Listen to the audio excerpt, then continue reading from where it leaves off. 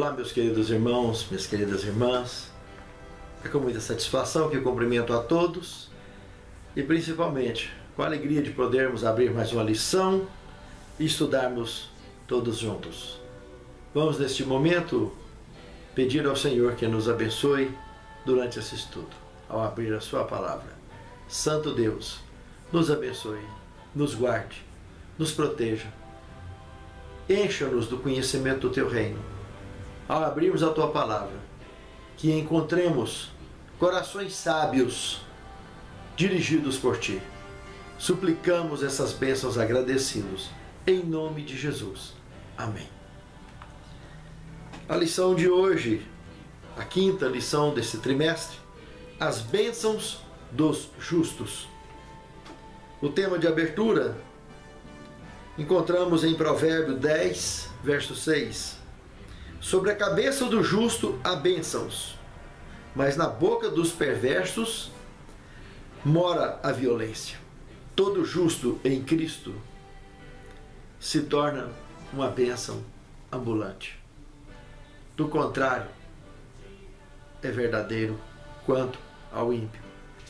Veremos no decorrer dessa lição, dessa semana, que vale a pena ser justo e jamais vale a pena ser ímpio. O segundo tema, a justiça é holística, ou seja, é total, é plena, não é meia boca, não é quebra-galho. Para o justo é sempre uma bênção a justiça, sempre, porque ele é justo. E Deus é com ele. Mas para o ímpio, a justiça sai de baixo. O dedo de Deus pesa sobre ele. É uma questão de tempo. É tão interessante que o apóstolo Paulo, já contemporâneo, logo após os dias de Cristo, a sua ascensão, Paulo, nos seus escritos, lá em Romanos capítulo 12, no verso 19, ele cita inclusive Provérbios capítulo 24, o verso 29 e Provérbios 25, 21, que trata sobre a vingança divina, Deus pedindo para deixar a vingança com ele. Porque não é para nós nos vingarmos, fazer justiça com as próprias mãos. Deixa com Deus. Sai de baixo, ímpio sai de baixo. A chuva de pedra é terrível para o ímpio. A sétima praga, inclusive, é uma prova disso no Apocalipse. Chuva de pedra de quase 30 quilos, que vai arrasar com tudo que o homem construiu. Imagine com o ímpio. E a vida toda, o tempo todo, o ímpio está debaixo de chuva de pedra, mais cedo ou mais tarde. A justiça de Deus não falta. Terceiro tema, a boca dos justos. Interessante. A premissa básica é crucial. Nossas palavras são muito poderosas tanto para o bem quanto para o mal. A língua pode ser o melhor ou pior dom que nos foi concedido. Essa ambivalência com respeito à língua é uma das lições mais importantes de Provérbios. Na verdade, a boca gera vida, mas também pode produzir morte. Se analisarmos Provérbios 10, 11 a 14, podemos observar que os justos sempre têm lábios sensatos, os ímpios, lábios insensatos. O justo cresce e o ímpio apodrece, será arruinado. Isso é biblicamente incontestável, é questão de tempo. Não precisa desejar mal o próprio Senhor toma as nossas dores. Tanto tomou que o Calvário é a prova disso. Mas o Calvário tem um custo. Quem rejeita aquela bênção, automaticamente está pedindo ou clamando que o sangue derramado no Calvário caia sobre as cabeças, como disseram os seus contemporâneos inimigos da sua própria religião naquele dia, dos quais propinaram as testemunhas falsas para suplicarem pela crucifixão dele. A esperança dos justos, quarto tema. Observando agora Provérbios 11, verso 3, nós podemos observar aqui o seguinte: a integridade dos retos os guia, mas aos pérfidos, a perversidade dos ímpios, né? E a sua mesma falsidade os destruirá. A própria falsidade do ímpio o destruirá. É um fato incontestável. É uma questão de tempo, como eu já disse. Se o justo é sempre guiado por Deus, é fato que um dia ele estará como Enoque para sempre com o Senhor. E o ímpio se vira as costas para Deus, está virando as costas para a vida, porque Cristo disse: Eu sou o caminho, a verdade e a vida. Quem vira as costas para Ele decidiu ser ímpio. E o ímpio vai encontrar a impiedade, a maldade, a morte, a perversidade. Tudo que ele planta, a raiz dele é uma raiz pesteada. Tudo dele é torto. Do pensamento à sua conduta da sua conduta à sua alma. Tudo é torto, porque é feito sem Deus, está desconectado com a fonte da vida. Ele está próximo e conectado com a fonte da morte. Quinto tema: a verdade dos justos. Olhando agora para Provérbios, capítulo 12, forma-se um paralelo entre honestidade e mentira. Veja que o ímpio é uma peste. E os seus conselhos são armadilhas mortais. Sua palavra é como risco na água. O ímpio é assim porque ele se decidiu na perversidade. Já o justo é uma bênção, uma bênção ambulante. Porque os seus conselhos são também livramentos para a vida. A sua palavra é inabalável. O justo é assim porque a sua decisão está sempre em Deus.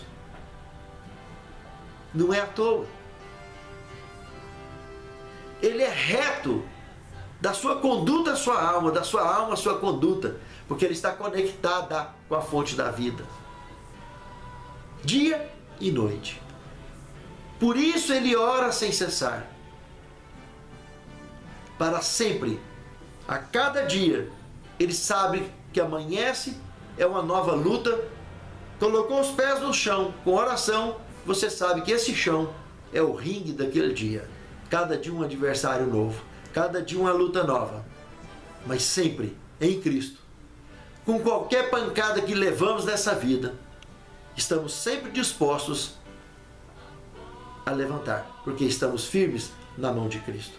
Como Pedro, afogando, não soltou da mão de Cristo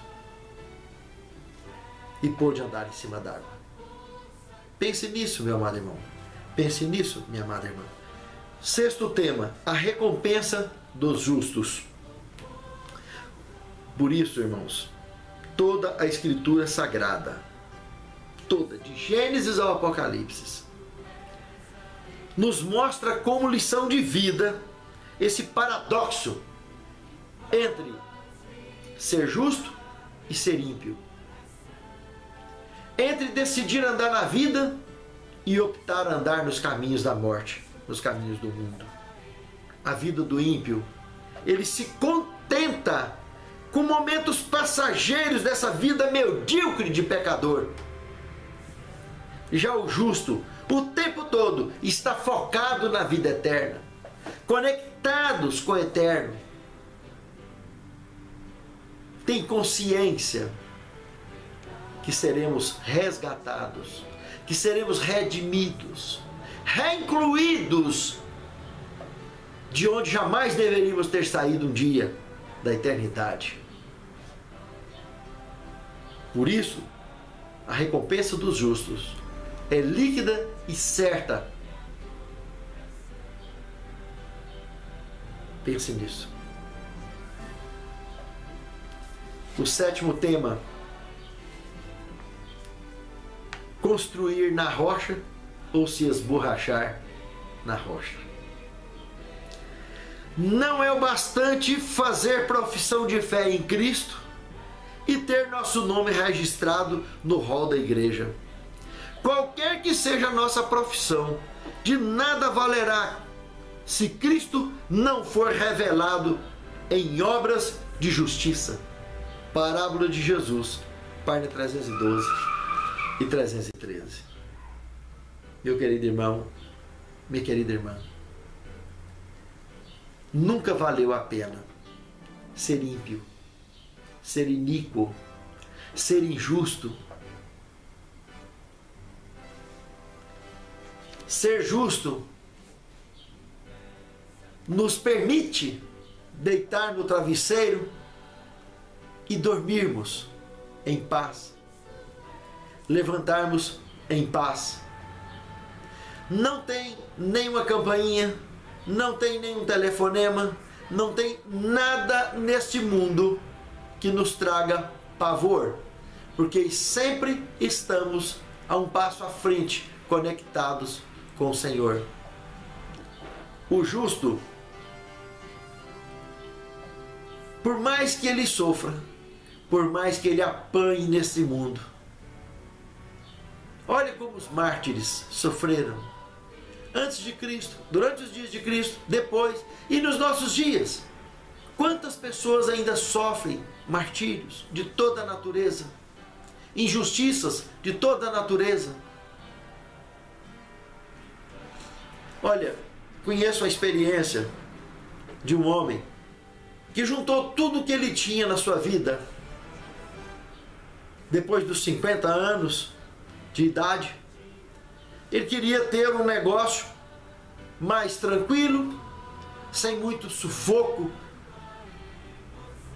e decidiu comprar uma fazenda e lotear para vender os lotes. E desse empreendimento, abençoado por Deus, poder tirar o seu sustento e se preparar para a velhice. Um dia, ele levando um cliente para conhecer o loteamento. O cliente até é parente da esposa dele. Esse cliente, por imprudência, acabou batendo no carro deste empreendedor justo. O carro desse empreendedor ficou muito avariado. Graças a Deus ninguém se feriu. Mas foi um prejuízo para esse empreendedor que custou praticamente um terço do valor venal do seu carro. Mas por incrível que pareça, a imprudência do outro deveria ter proporcionado em seu coração normal, o senso simples e básico, de que quando a gente bate no carro de alguém, nós temos que arrumar, consertar o carro, reparar aquele prejuízo. Esse homem, o cliente que bateu no carro dele, tinha um carro novinho, tinha tirado duas caminhonetes zero há dez dias atrás, uma para o filho e outra para ele. Ele era rico, ele é um homem rico. E o empreendedor isso aconteceu há um ano atrás, aproximadamente. Nós estamos em 2015. É, isso aconteceu em 2013. 2014 fez um ano. Sabe, meus amados?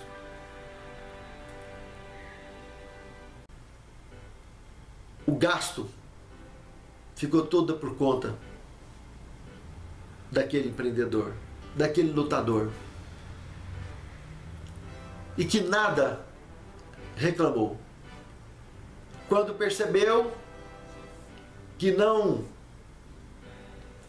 não seria ressarcido do prejuízo, simplesmente aquele justo se calou, entregou nas mãos de Deus e pediu que Deus cuidasse dessa situação. O seu dinheiro já tinha acabado para lançar o empreendimento. Ele estava tentando vender um pouco, algumas unidades a mais, para poder fechar aquele empreendimento. Sabe, meus amados irmãos, Deus abençoou aquele moço, o empreendedor. E ele conseguiu vender as unidades que precisava para poder concluir o seu propósito justo e correto, abençoado por Deus. O ímpio foi embora. O carro do empreendedor ficou lá, teve que ser buscado com guincho, 407 quilômetros de distância e um tremendo prejuízo. Mas ele arrumou o carro e voltou a trabalhar. E está a poucos passos do pódio da vitória desse propósito que Deus o abençoou e o está abençoando. E assim é com todos os justos. E os ímpios que nos fazem mal, o que mais podemos fazer por eles é orar por eles. Para que eles aprendam a nos amar, para que eles aprendam com o nosso exemplo a deixar de ser ímpio e procurar ser justo e amar os justos e acima de tudo amar a Deus e servi-lo em espírito e em verdade. Porque naquele grande dia não vai ter para ninguém. Ou é justo e vai ao encontro com o Senhor nos ares, ou é ímpio e a maldição estará sobre ele para todo sempre. Que Deus nos abençoe e nos guarde, meus irmãos.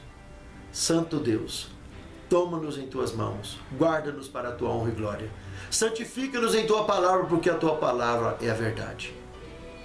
E que as pessoas que praticam a impiedade alcancem de ti, Senhor, o senso de visão no coração que possam agir como pessoas justas, deixar o caminho da impiedade e te servirem em espírito e em verdade, encontrando a salvação em ti, Senhor.